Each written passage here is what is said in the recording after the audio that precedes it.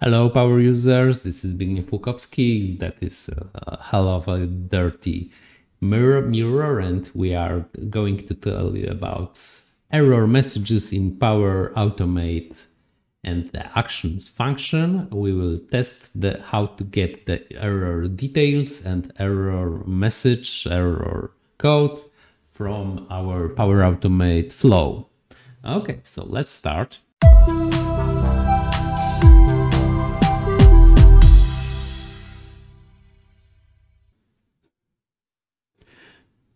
Here I have my simple flow, which I trigger manually. Then I set the variable of the type of boolean, which will then fail because the value will be a mismatch. It will not be a true or false. Then I, in the scope catch, I want to use the workflow function, which give me the the link of my my workflow and send it in the email. Okay, so this is the basic, but we will now try to use the action scope to get the instead of the compose and the workflow, we can delete this. Yeah, yeah, yeah. We can then delete our link. If you want to see how to do it, go to my other video. I will link it in the description. Uh, and now let's try to, for example, add an action, add a compose action, data operation. Let's go to the front to the front. Cool. Let's do it with actions. And I always try to write expressions uh, in the inputs. Okay, let's go with the actions. Hop, hop. Let's use the actions which we have. So It's a v-test. Of course, name your action accordingly. This is totally uh, inappropriate name. And in the actions, let's, let's now run the flow to see what data we can gather with, with this. Cool? Let's run the flow, run the flow. Done. Let's go to the actions part. Yeah, this failed successfully, this action, but the flow runs successfully because we run also the try part catch. So remember, this will uh, won't indicate you a failure. Okay, and we have inputs. What we have there? We have the code bed request. We have the status, of course. And we have the message. Okay, so this is fairly simple. Let's go with the code.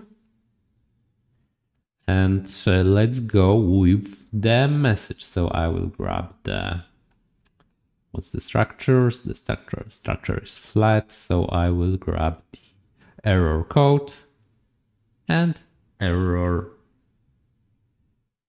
Error code. And error message. Cool. Error message code and error message. Cool. So let's go with edit. Let's with the send and email. Let's go with the error error And then go with the expressions. Let's use the outputs from my compose. Remember, rename it accordingly. And then go with the code, it was code. And the message of the error message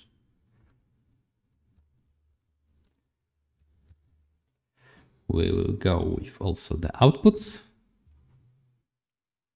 Hop, hop, and the compose, then the then the error and message.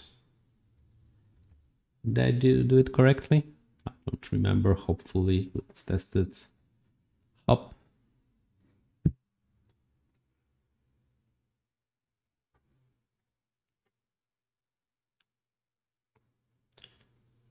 Unable to process language. Okay, so I think I failed something. Property message doesn't exist. Sorry, let's go back. Let's go to composed. What was that? It was error message. I used the 3S. So as you can see this is how it ends if I am live coding. Expressions up. Let's rewrite this. Up. Compose. Up. Error. Up. Message. And this is the reason why you always should, when you compose outputs, I was in a hurry, so I did not do it, but you always in compose outputs, you will in new comment, sorry, not this kind comment, uh, you will uh, add a note and use the expressions here. And then you can have, have it copied and go back here and and in the expressions you can go like this and this will work. Otherwise you are bound to re-enter compose parts in your flow which will be uh, really annoying if you are not the one who wrote this compose right? Or you can okay so it flow ran successfully uh, it sent the email and and the error bad request error message unable to process template language because it's not defined on valid. Great, this is working. Now you can, when you have the, um, the regular mechanism working, uh, you can have a flow name here, for example, the flow blah, blah, blah failed. And then you can have the the flow name here and also the link with the flow execution, which is uh, in my other video, but it's 11 minutes. So if you know how to do it, and I won't bother you in here now, but it's possible to send a link to a certain flow execution. Also remember that you would need to do it for each actions if you have mm, Uh, if you don't have all your actions in the, the scope try. So if you are using the try scope, then you will get the outputs from the try scope and it will fail, right? So so you will have the the fail right there without any need of repeating this over and over and over again for each action. Yeah, so that's it. Zbigniew Lukowski out. Hope that was helpful. If it was, I have many other videos about Power Apps, Power Platform, Power Automate, Power Automate Desktop, SharePoint, etc., etc., all the Microsoft stack. See you later. Have a great day.